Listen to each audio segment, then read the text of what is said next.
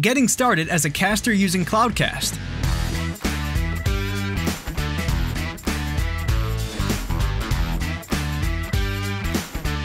We start by sending you an email, which will have a link to get set up.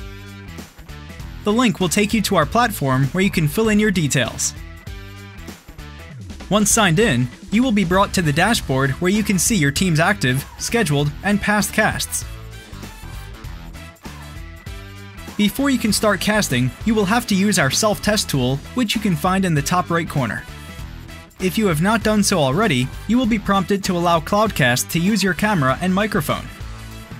Follow the prompts to finish the self-test.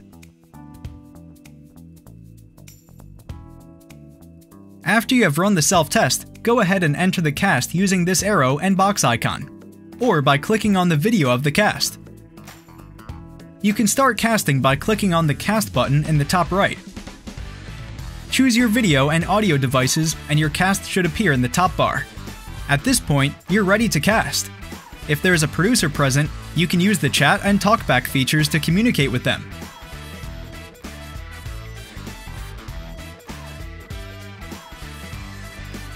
If you have any questions, you can contact our support team.